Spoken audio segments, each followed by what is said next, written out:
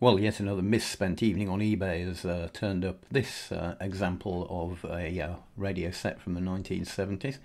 Um, it's an RGD Rover. It's not a brand or model that I had ever heard of, actually. I was a bit surprised to see it. Um, and um, I did a bit of research, and RGD were a British company used to make radios back in valve radios back in the 1960s, and like a lot of other companies, they got swallowed up by, in this case, ITT, which is a big American electronics company.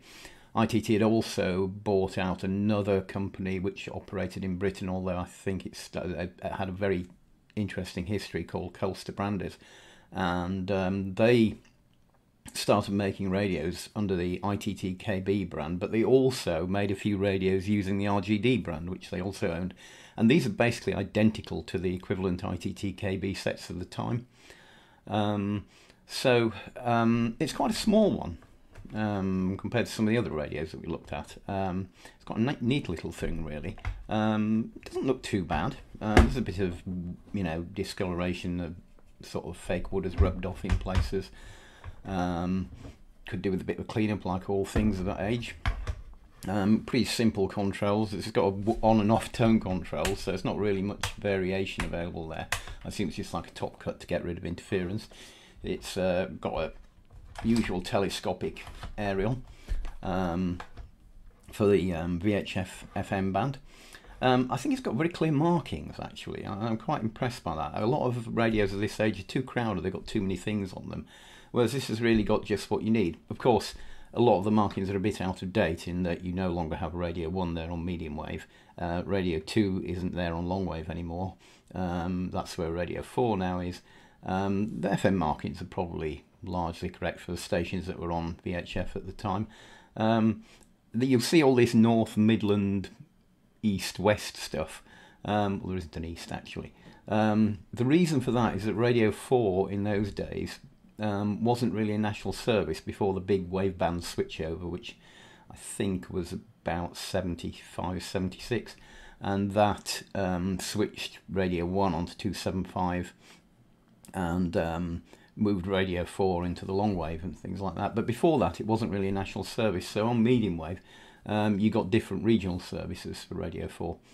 Um, anyway, as I said, I think it's, it's pretty clearly laid out. I, I, like the little bit here where it warns you that it's been made by foreigners. That's obviously a very important thing that people needed to know in those days. I was trying to work out where ITT did make their stuff. Um, it looks to me like they made a lot of their stuff in Hong Kong. That would have seemed likely that that would have been um, where this would have been made. Where it was designed, I'm not sure whether it was designed. Um, I, I, suspect it was a British design that was made in Hong Kong. Anyway, um, there's no batteries in it at the moment, and there's no mains option on this. It hasn't got a, a uh, mains power supply, which makes it quite light, but it means we've got to find some batteries to put into it. Um, so that's the next step, I think, and then see how it works. Well, the good news is that I uh, do have some uh, C cells in my battery box. Um, the less good news is they're um, sort of a little bit out of date, really. Um, March 2011. So yeah, maybe not the newest, but um, they check out. They've got one and a half volts on them, and that's all you can ask for, I suppose. Um, so let's put those in.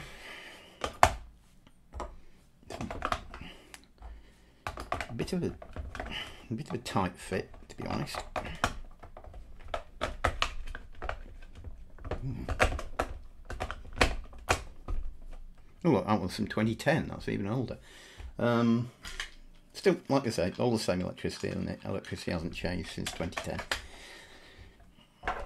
So let's do the screws up.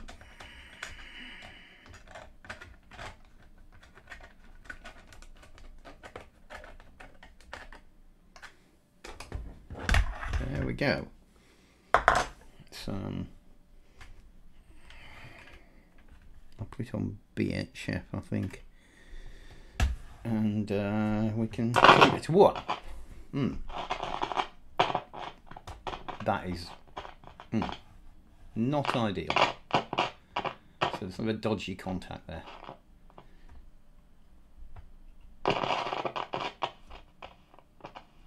If you get it in exactly the right position, I can hear something, so that sounds good. Um, should probably put the aerial up.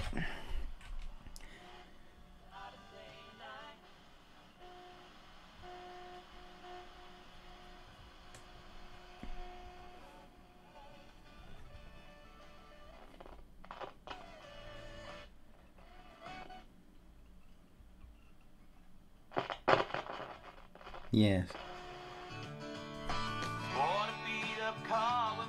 Well, once you get it tuned in, um, sound it makes is quite good actually. I'm not going to do that. Wow, quality of the music, but the but the sound is quite good um, for a little thing like this. Uh, obviously, we need to look at that. That I, it's always got some sort of either bad contact or the pot's fallen apart or something. Um, so hopefully that should be a pretty easy fix and then with a bit of cleanup it, it can make quite good radio. Right, so the next challenge I have to get the thing apart which probably involves removing the batteries again. Um, having carefully jammed them into place.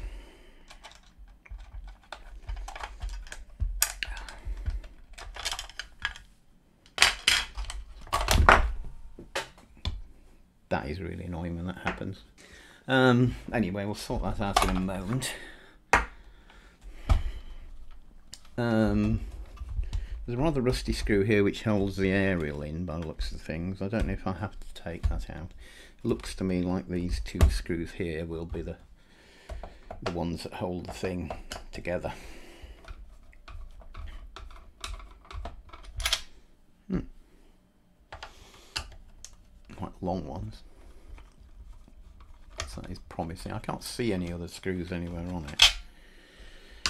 Um,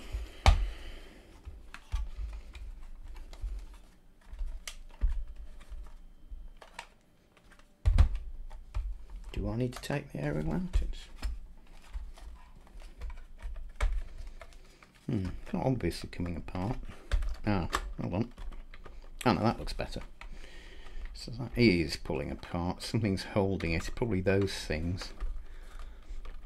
And there isn't much leverage here to get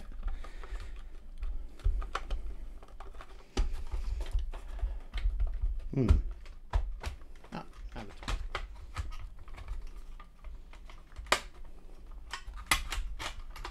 ah. Right.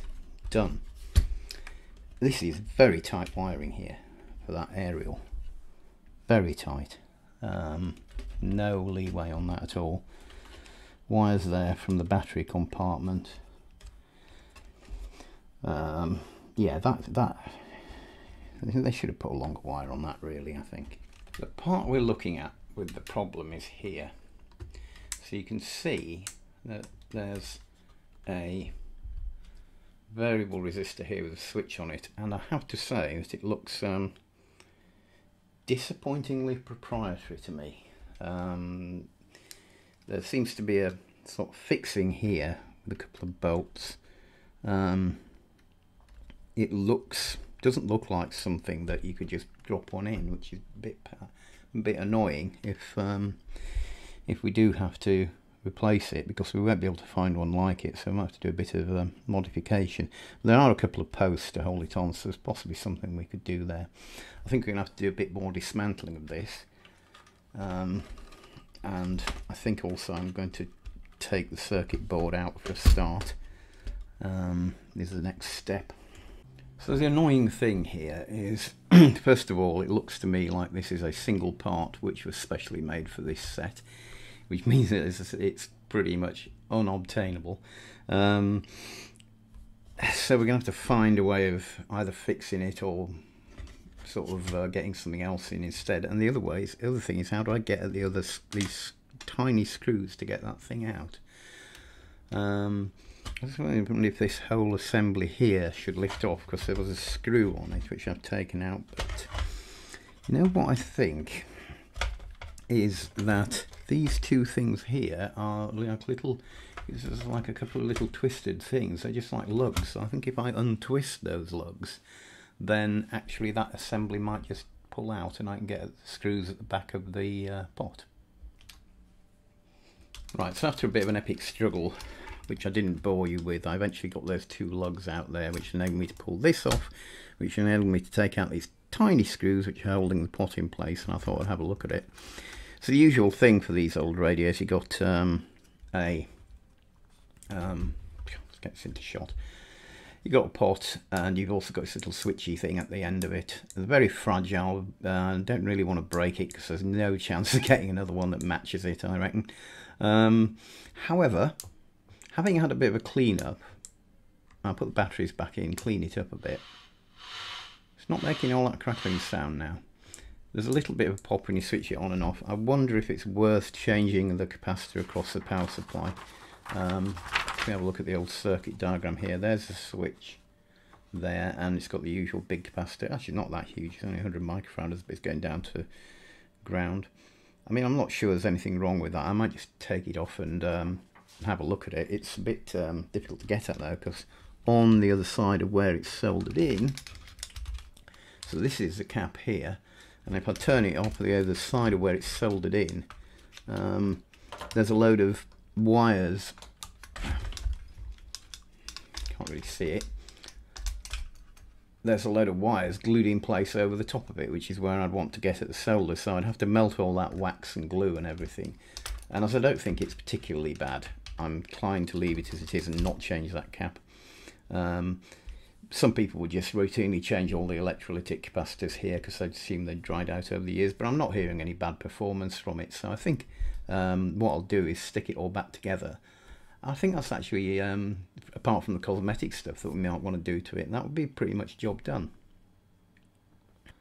Well, my elation at getting the audio working reliably was short-lived because um, in putting it back together, I've uh, done the thing that you should absolutely never do when working on old radios, and that is to break this tuning cord.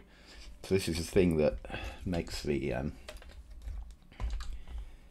when you turn the tuning knob makes this needle move. And it is an absolute pain to rethread these.